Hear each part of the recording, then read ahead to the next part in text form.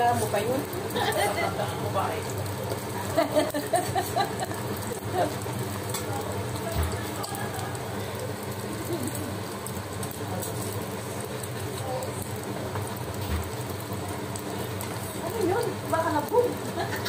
Hello guys! Nag-prito kami ngayon ng chicharon bulaklak.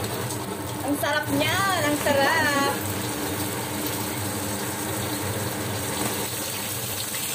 Wow!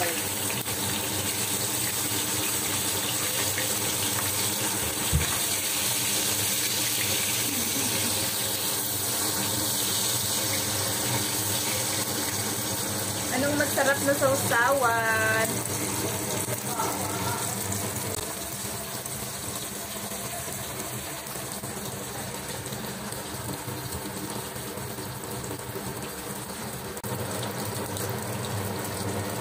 Dahil day off, magluto tayo ng chicharong bulaklak. Kami is boarding house.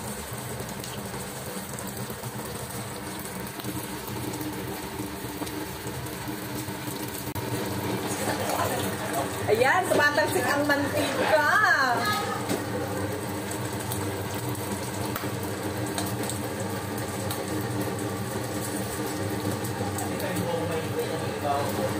Yahoo!